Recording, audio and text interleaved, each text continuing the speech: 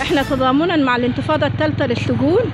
إن شاء الله بإذن الله آه، بحكي معاناة وانتهاكات زوجي في داخل السجون. زوجي أنا زوجة المعتقل الشيخ ممدوح علي إبراهيم في آه، سجن الزقازيق العمومي. والعلم أن زوجي معوق آه، إيديه ورجليه الشما- الشمال أعاقة. وناشد ذوي الاحتياجات الخاصة. بالإفراج ليس على ممدوح فقط ولكن أول هدف تضامنا مع السجون وانتفاضة الثالثة ليس إضرابا على الطعام فقط ولا إضرابا على الشراب فقط ولكن نناشد أحرار العالم نناشد أصحاب الضمائر الحية نناشدهم بسرعة الإفراج عن المعتقلين جميعا. ليس عن الشيخ ممدوح فقط ولكن عندنا يا أحرار العالم يا أصحاب الضمائر الحية يا أصحاب منظمات الحقوق الإنسان. يوجد في سجون مصر الآن 41 ألف معتقل. هذا المعتقل هذا المعوق الشيخ ممدوح دخل سجن مستشفى العام في الزقازيق. دخل المستشفى بالسجن.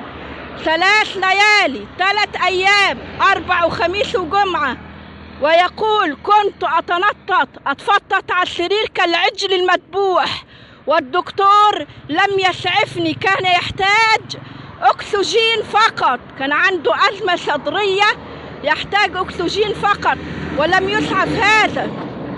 ليس أقول الشيخ ممدوح نريد تحسين الرعاية الصحية لكل المعتقلين وهذا حق شرعي وهذا حق أي مسجون في العالم. جيش إسرائيل اتحرك كله لإنقاذ كلب كلب لجندي إسرائيلي وقع في المية. الطيران الإسرائيلي ذهب عشان ينقذ هذا الكلب. نريد الآن يتحرك العالم كله وأحرار العالم. نناشدكم من هذا المكان. من قرية العدوة ونقول لكم الآن نناشدكم تحسين أحوال الرعاية الصحية بالمعتقلين. الأنسولين مش دخل عندنا في سجون مصر 2000 2000 مريض يحتاجون إلى الأنسولين. ممكن تؤدي إلى الغيبوبة ويموت إحنا اللي بنموت سجون مصر الآن الموت البطيء للمعتقلين.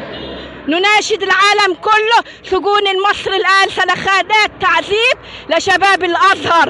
بيدمروا في شبابنا. يؤمر شباب الأزهر الآن أن يكون عراة في سجون مصر الآن. عراة ويفعلون البول على أمام نفسهم. يا نناشد العالم تهتك أعراض شباب الأزهر الآن.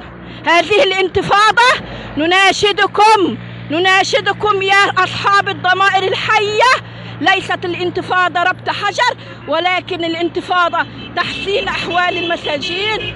ونقول والله غالب على أمره ولكن أكثر الناس لا يعلمون.